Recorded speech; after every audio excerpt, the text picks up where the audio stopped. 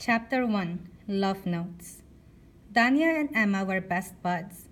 They had been for a long time, even though they were very different.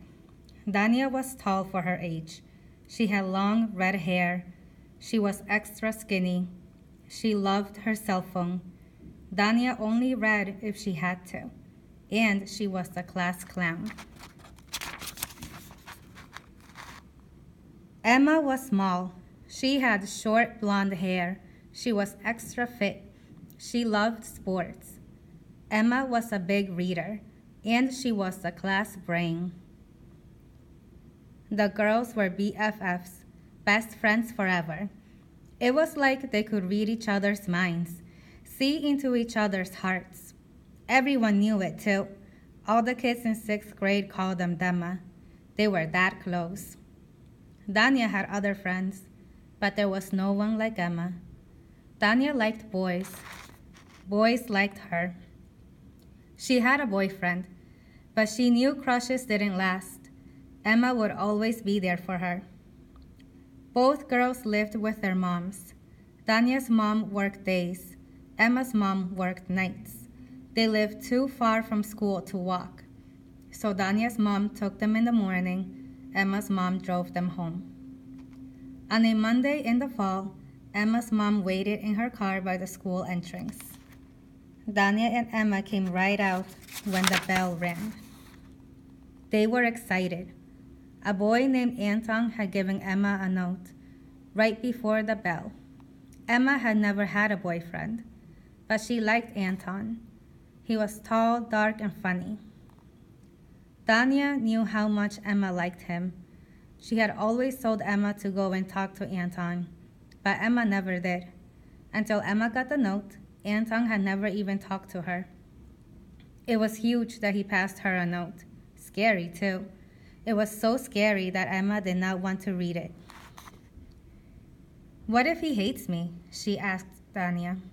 Boys who hate girls don't write them notes, Danya told her.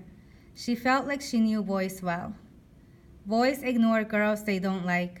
They act like the girl isn't even there. Emma still looked worried. What if he's the first? Maybe he sees me looking at him. Maybe he wants me to stop. And maybe he's inviting you to the dance. The winter dance was in three months. No way.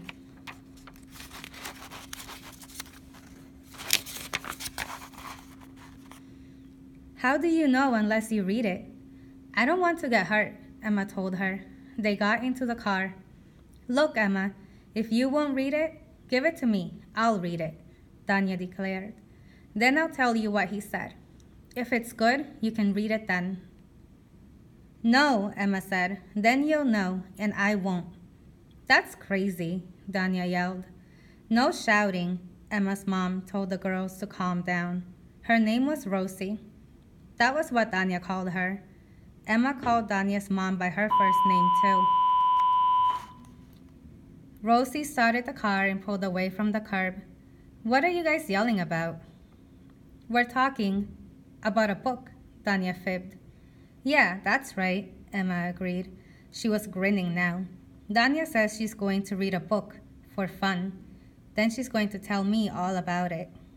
All three of them laughed. Rosie knew how much Danya did not like to read.